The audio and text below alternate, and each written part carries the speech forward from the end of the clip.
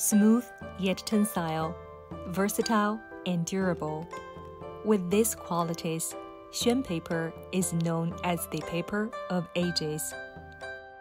The term Xuan paper first appeared in On Famous Paintings Through the Ages, a book written by Tang Dynasty scholar Zhang Yanyuan, in which he described Xuan paper as an ideal carrier for calligraphy and painting.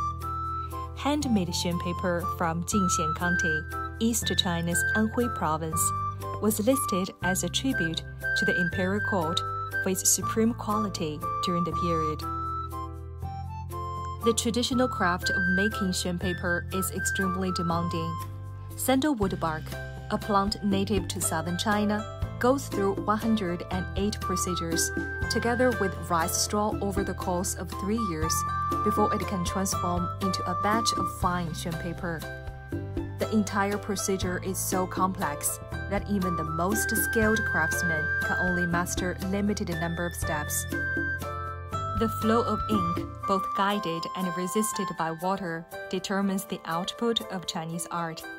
And Xuan paper outshines others with its excellent ability to give full play to ink.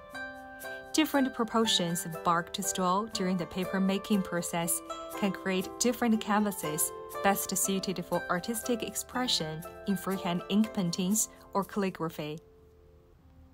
Xuan paper has accompanied the passionate brushstrokes of the Chinese literati for thousands of years.